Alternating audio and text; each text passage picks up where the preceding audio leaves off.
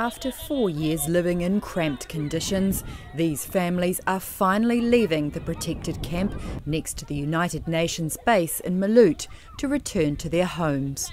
Hundreds of people have sought sanctuary at the site since civil war broke out in South Sudan four years ago. A recent count registered 562 people remaining.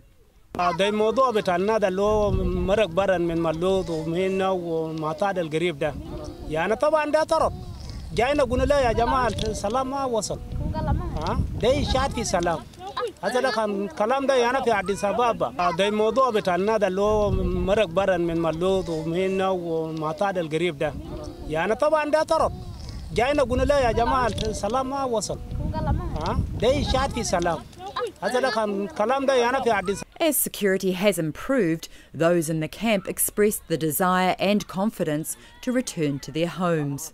After extensive consultation, more than half were settled in the nearby town this week, while 255 were relocated by the United Nations mission in South Sudan, UNHCR, and other humanitarian partners. Some went back to their former villages, while others with specific protection needs shifted to the UN protection site at Malakal until they can also go home.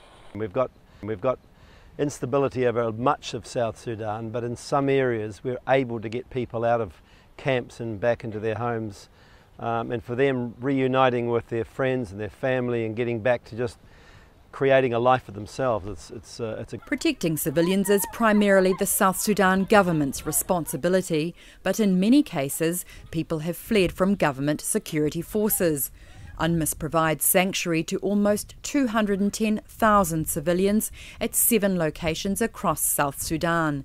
These camps are a last resort and exist only to shelter people who genuinely fear for their lives.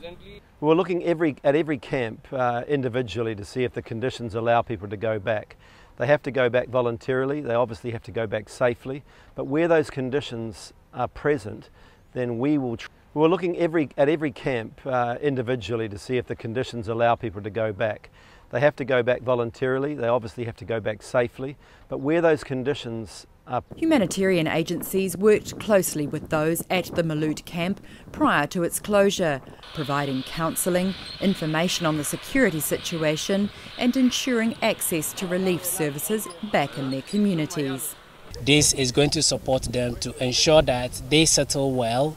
Moving out of the POC into the community, these supports are going to be crucial for them to settle well into the new environment and continue living uh, life in the little comfort that everybody else can achieve in South Sudan in the current situation that we have. The closure of the Melut site will enable peacekeeping troops there to shift their focus from guarding the camp to increasing patrols in the surrounding area.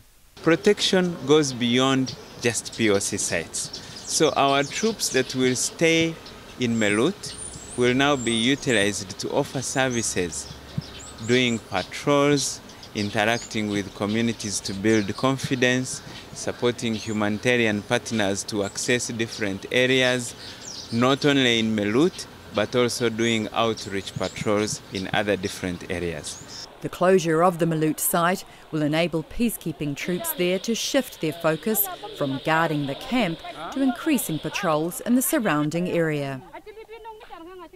Extending that protective presence into other communities will save lives and build confidence so that over time more people will feel safe enough to return to their homes.